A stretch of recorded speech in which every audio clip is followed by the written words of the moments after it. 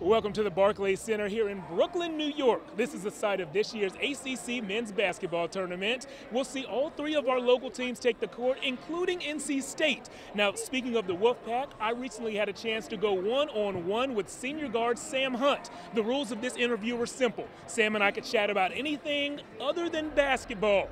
That meant music, hobbies, even Sam's secret pasta recipe were all fair game in our new segment called Answer That.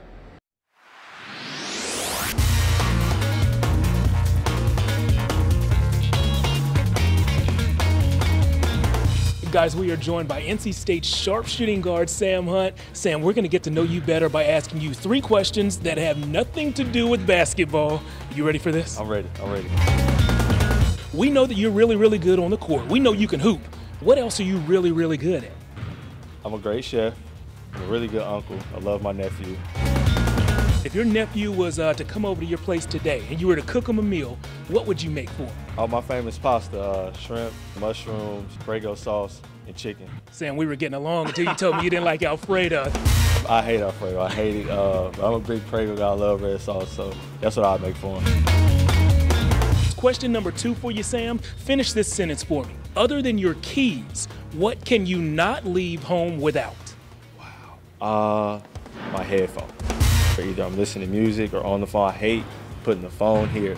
I hate that. I like keeping it in my pocket, having the headphones right here, being able to talk. Can't leave home with my headphones. All right, last question. Question number three. If you could have lunch with any celebrity, anyone in the world, who would it be? I met Barack Obama, so I'm a, I met him. I got a chance to talk to him. It would probably be, it had to be Kobe. I love Kobe. I'm a Kobe fan. What's on the menu at the uh, lunch between you and Kobe? Probably a big steak and a lobster. If it's on him. If it's on him, if it's on him, if it's me, we might get something totally different. We might go to a whole different place, but if it's on Kobe, I'm probably gonna get a steak and lobster. All right, I'm gonna go ahead and get this on camera. Leftovers, right here. I give you the leftovers. I give it to you.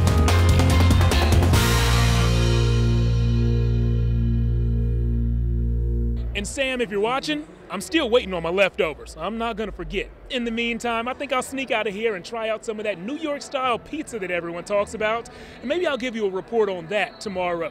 Reporting from the Barclays Center in Brooklyn, New York, Jeff Jones, CBS, North Carolina.